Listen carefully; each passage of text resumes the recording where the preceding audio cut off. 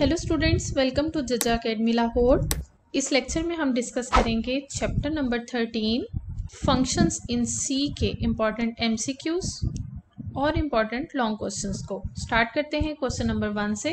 Functions that are part of C language are called built in functions ऐसे functions जो C language का part होते हैं C language की डेवलपमेंट के टाइम पर ही उन्हें डिफाइन कर दिया जाता है लैंग्वेज का पार्ट बना दिया जाता है, ऐसे फ़ंक्शंस को कहते हैं बिल्ट इन फ़ंक्शंस और ऐसे फ़ंक्शंस जिन्हें यूज़र्स या प्रोग्रामर्स खुद से क्रिएट करते हैं, उन फ़ंक्शंस को कहते हैं user defined functions so functions की दो टाइप्स हैं user defined functions and built in functions another name of built-in function is library function.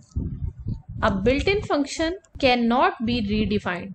Jin functions को सी लैंग्वेज के अंदर पहले से डिफाइन कर दिया गया है, हम उन्हें रीडिफाइन नहीं कर सकते।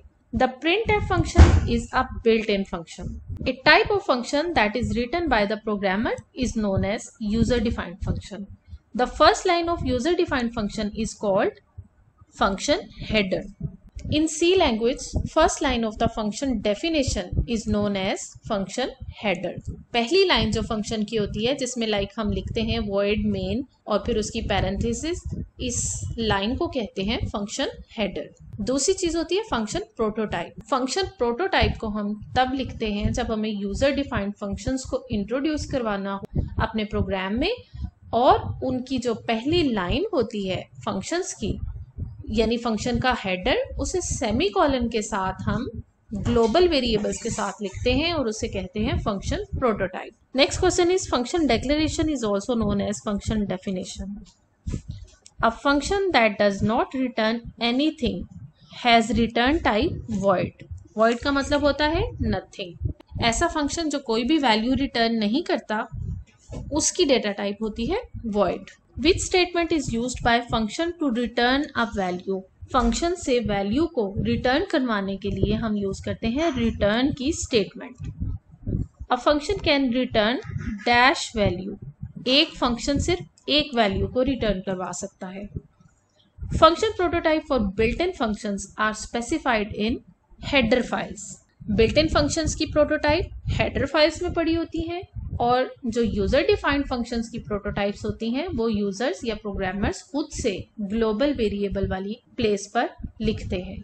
ग्लोबल वेरिएबल्स वाली जगह से मुराद ये है कि प्री प्रोसेसर डायरेक्टिव्स और वॉइड मेन के फ़ंक्शन से पहले जो दरमियान वाला पार्ट होता है, जहाँ पर ग्लोबल वेरिएबल्स को डिक्लेयर किया जाता है, उस जगह पर ही हम फ़ंक्शंस के प्रोटोटाइप्स को लिखते हैं यूज़र डिफाइंड फ़ंक्शंस की प्रोटोटाइप्स को। The statement that activates a function is known as function call. Local variables are also called automatic variables. The scope of variable refers to its accessibility. यानी program के किस part में access किया जा सकता है उस रेंज को कहते हैं एक्सेसिबिलिटी या वेरिएबल का scope for example local variable जो किसी एक फ़ंक्शन के अंदर लिखे जाते हैं उनका स्कोप भी उस फ़ंक्शन की एग्जीक्यूशन की हद तक होता है। जैसे ही वो फ़ंक्शन एग्जीक्यूट हो जाता है लोकल वेरिएबल्स मेमोरी से अरेज हो जाते हैं। लेकिन ग्लोबल वेरिएबल्स का स्कोप पूरे प्रोग्राम की एग्जीक्यूशन पर कन्फाइंड होता है।